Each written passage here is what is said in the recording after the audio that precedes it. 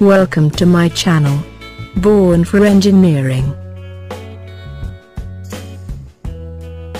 In this video we are going to discuss about liquid drop model.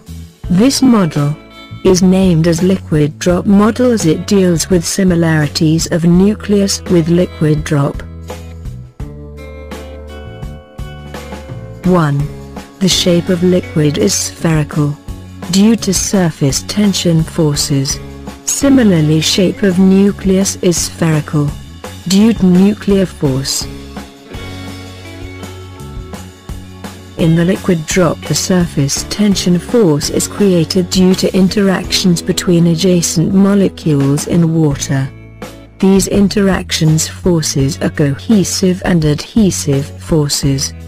The cohesive forces are created due to interactions between two water molecules and the adhesive forces are created due to interactions between water molecule and beaker.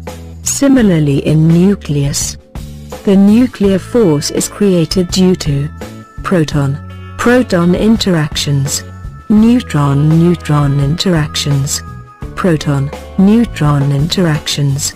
So resultant of all these interactions a nuclear force. 3. The density of liquid drop is constant throughout the drop. Similarly density of nucleus is constant throughout the body. 4.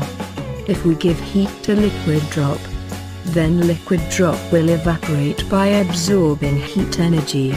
Similarly if we supply energy to nucleus, by bombarding particles to it, it will perform nuclear reactions and emit nuclear radiation.